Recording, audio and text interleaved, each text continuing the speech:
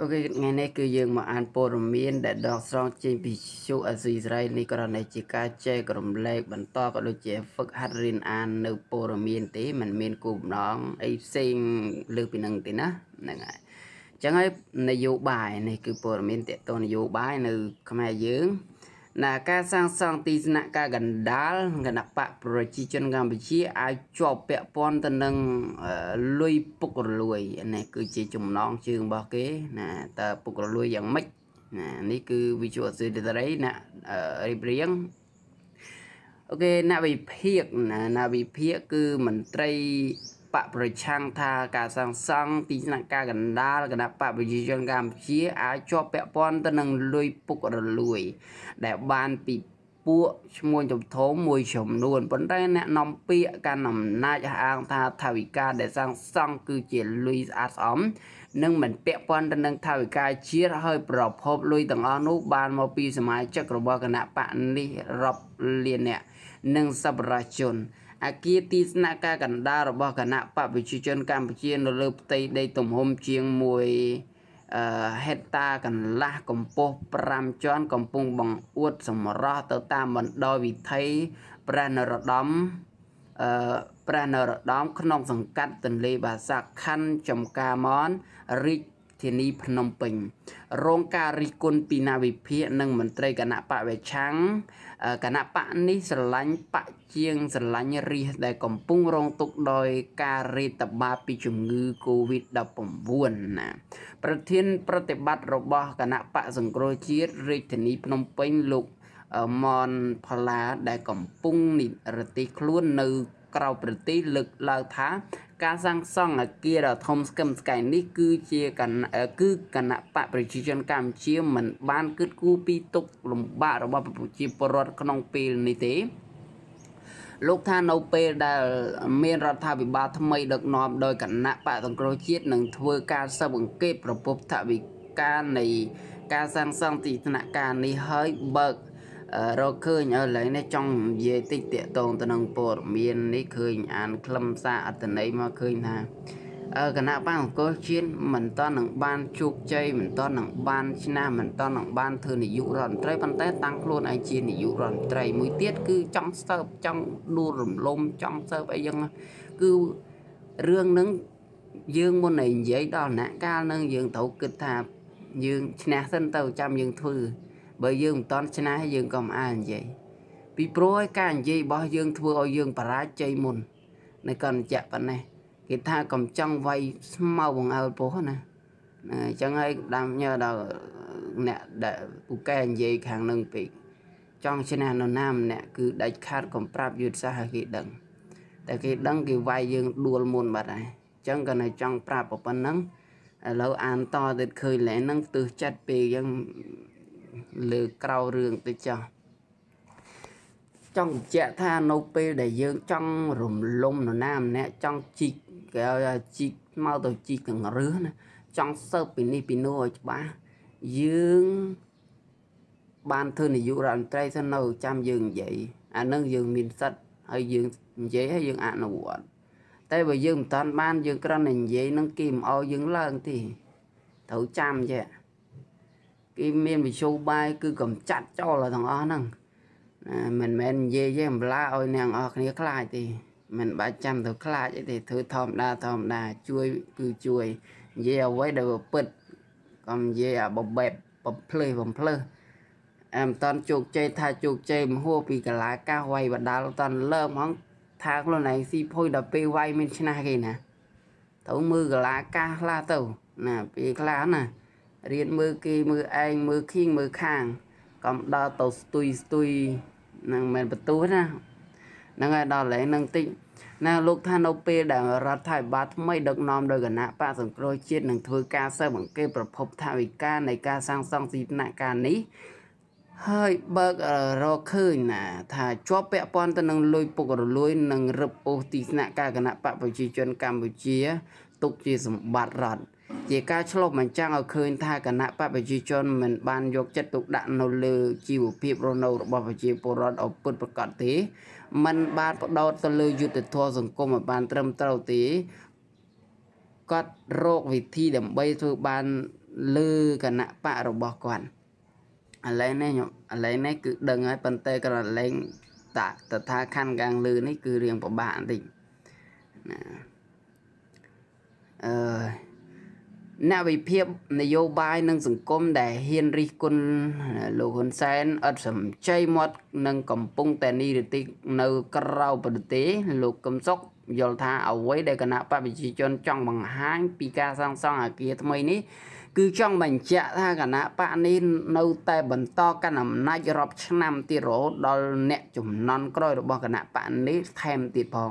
លោកសង្ស័យថាលុយសម្រាប់គណៈបកកាន់អំណាចយកមកធ្វើទីស្នាក់ការកណ្ដាលរបស់ខ្លួនពេលនេះគឺមានក្រុមឈ្មួញធំធំដែលរកស៊ីលើខ្នងរានិងមន្ត្រីពុករលួយលោកថាមូលហេតុដែលក្រុមទាំងនេះហ៊ានជះលុយរាប់លានដុល្លារនា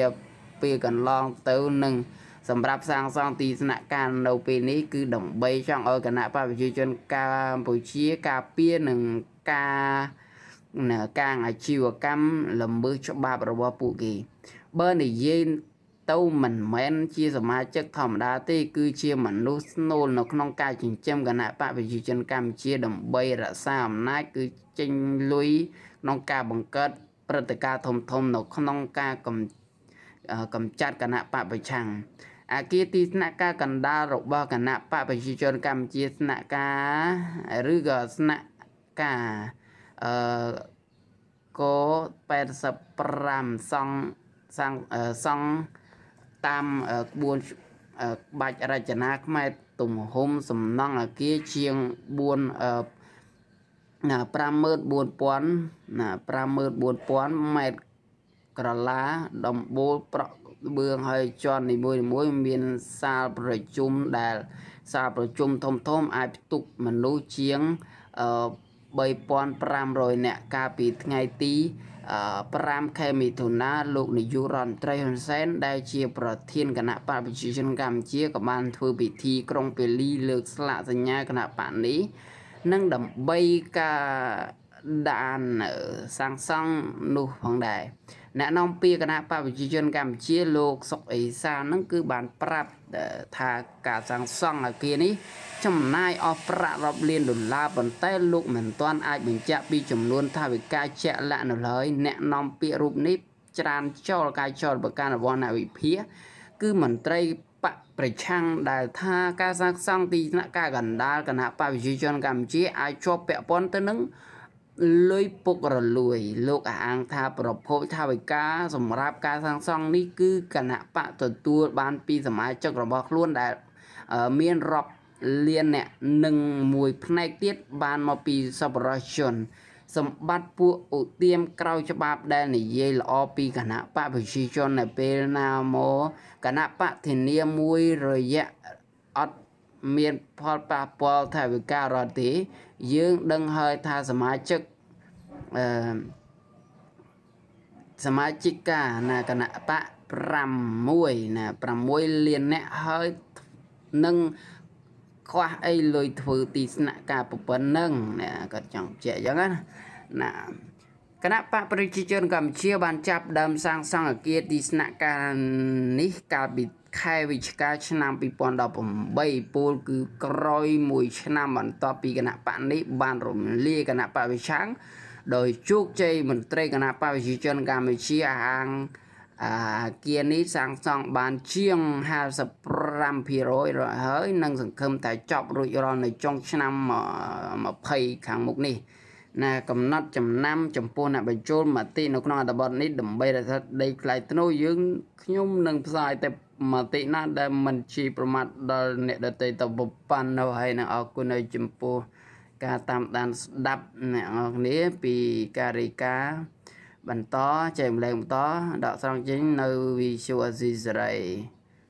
ហ្នឹងហើយសរុបសេចក្តីទៅមានន័យថានយោបាយគឺម្នាក់ថាគេពុករលួយម្នាក់ទៀតថាអត់ពុករលួយទេលួយហ្នឹងគឺបានមកពីសមាជិកអីទៅណាខាងប្រឆាំងគឺគេគិតថាអឺ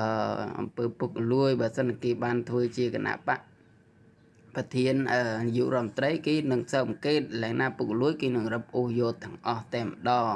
អឺកន្លែងនេះក៏វាជាគំនិតល្អតែយើងនិយាយលើហ្នឹងក៏ប៉ុន្តែគ្រាន់តែកន្លែងខ្លះហ្នឹងយើងមិនតាន់បានធ្វើជានាយករដ្ឋមន្ត្រីផងយើងចង់រឹបអូសគេ ចឹងវាមិនអត់អាចទៅរួចណានយោបាយពីខ្លះបើសិនជាយើងធ្វើដូចជាប្រធានសំរងស៊ីដែលកន្លងមកគាត់តែនិយាយថាបើសិនជាបានឡើងធ្វើនាយករដ្ឋមន្ត្រី កម្ពុជាឬក៏បានធ្វើនាយករដ្ឋមន្ត្រីគាត់នឹងរឹបអូសឬក៏ដួលរលំអឺគេហៅថារបបនឹងអស់រឹបអូសពីរបបអ្នកដឹកនាំសប្តាហ៍ថ្ងៃហ្នឹងណាណាអញ្ចឹងបើយើងនិយាយអញ្ចឹងវាដូចហាក់បីដូចជាផ្ដាច់ការពេកណាផ្ដាច់ការអញ្ចឹងទៅ